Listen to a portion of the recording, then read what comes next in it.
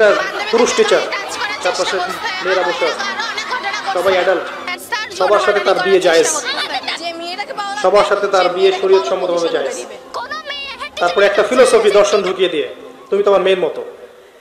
অহ রহ মেয়েদের ইজ্জত হারাচ্ছে অহ রহ আপনারা সেকুলার পত্রিকাগুলো এবং মিডিয়াগুলো ঘাটতে থাকেন, দেখেন কি পরিমাণে ছাত্রীদেরকে টিজিংটা বেড়েছে। কি পরিমাণে বেড়েছে। এমন অনেক ছাত্রী আছে, আমি বিভিন্ন রাষ্ট্রের নিউজ দেখি। যে টিচাররা একটা স্কুলের টিচাররা মিলে প্রাইমারি স্কুল থেকে শুরু করে হাই স্কুল পর্যন্ত অসংখ্য ছাত্রীকে রেপ করেছে ভিডিও ধারণ করেছে। এখানে মহিলা টিচাররা ইনভলভ ছিলেন এমন নিউজ এসেছে। এবং অ্যাসিড দিয়ে মুখ ঝলসে দেওয়ার ভয় দেখিয়ে কাজ করা হয়েছে দীর্ঘদিন ধরে। ভয়ে মেয়েরা কিছু বলতে পারে নাই। আবার সেদিন একটা রেপিস্টের ক্রাইম দেখলাম, র্যাব ধরেছে। র্যাবের অফিসার যিনি ব্রিফ করছেন, তিনিও অবাক যে আমরা অবাক হয়ে গেছি এর ঘটনা দেখে। সে রেপিস্ট কিন্তু মুসলিম না। ভাগ্যিস সে অন্য ধর্মের। না, যদি মুসলিম হতো তাহলে এটা নিয়ে আবার প্রচারণা শুরু হয়ে যেত। আমি তার ধর্মের নাম বলব না, আমি জানি তার ধর্ম এটা শিক্ষা দেয় না। যেভাবে ইসলাম এটা শিক্ষা দেয় না, অন্য ধর্ম এটা শিক্ষা দেয় না। সে কি করেছে? রেপ করার পরে মেয়ে যেন গর্ভবতী না হয়, সে সে সেভাবে তার শারীরিক একটা মানে মেডিকেল ট্রিটমেন্ট করিয়েছে। আমি জানি না, আসলে আমি এইসব বিষয়ে খুব একটা ভালো জানি না। এমন এমন এমন কিছু পদ্ধতি এখন নাকি বের হয়েছে যে যৌন সম্পর্ক স্থাপন করলেও কনসেপ্ট করবে না। ছেলে তার মধ্যে সেটা করিয়েছে, যাতে সে গণহারে রেপ করতে পারে একটার পর একটা, একটার পর একটা, কেউ প্রেগনেন্ট না হয়। র্যাবের অফিসার ব্রিফ করছেন। দেখেন ভিডিও ফ্রি মিক্সিং যেখানে যাবেন কলেজে আপনি যাবেন। আবার দেখবেন কখনো কখনো যে ছেলেদের ব্যাচ পড়াচ্ছে মহিলা টিচার ছেলেদের ব্যাচ মহিলা টিচার তুমি তোমার ছেলের মতো। আর তাকে শেখানো হচ্ছে যে সে তো তার মায়ের মতো। আবার আমাদের ঢাকা শহর অত্যাধুনিক যে প্রতিষ্ঠানগুলো আছে সেখানে গিয়ে দেখবেন যে ফর্মাল ড্রেসে মিস ক্লাস নিচ্ছে। Formal dress shirt pant tie আবার বিভিন্ন জায়গায় গিয়ে দেখবেন মহিলারা এভাবে শার্ট, প্যান্ট, গেঞ্জি, জিন্স পরে ঘুরে বেড়াচ্ছে। শপিং মলসে, এয়ারপোর্টে, ওইখানে, এইখানে, সব জায়গায় চারপাশে। এটা তো ফ্রি মিক্সিং এর সাথে আরেকটা পাপ হলো কি? নবী সাল্লাম বলেছিলেন যে শেষ জামানে এক শ্রেণি মেয়ে বের হবে যারা কাপড় পরেও নগ্ন থাকবে।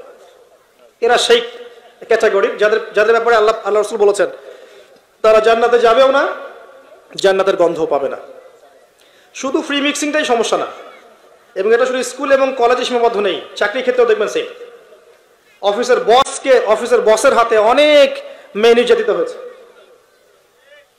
বেতন বেশি দেওয়ার কথা বলে প্রমোশন দেওয়ার কথা বলে, আর মেয়েরা তো একটু অবলা জাতি হয়।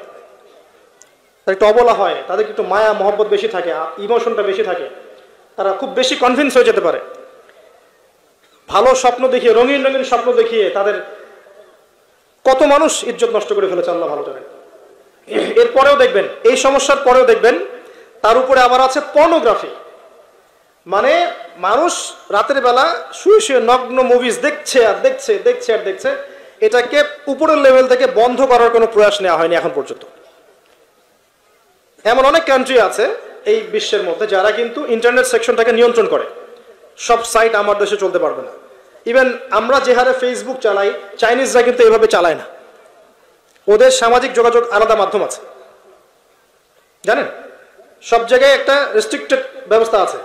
পর্নোগ্রাফি যেগুলো দিয়ে ব্লু ফিল্মস দেখানো হয় সারা দেশের মানুষকে, একটা জাতির মানুষকে, এটা তো অ্যাটলিস্ট বন্ধ করা যেত।